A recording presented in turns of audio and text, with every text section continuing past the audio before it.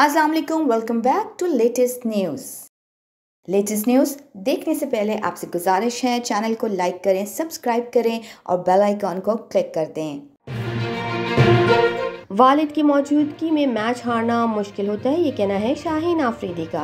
Pakistan super league की team Lahore कलंदर के कप्तान शाहीन आफरीदी ने पिशावर जलमी से मैच हारने के बाद पैगाम जारी कर दिया है। सोशल मीडिया पर शाहीन आफरीदी ने लिखा अच्छा मैच हारना मुश्किल होता है, ख़ासतौर पर जब वालिद भी मौजूद हो।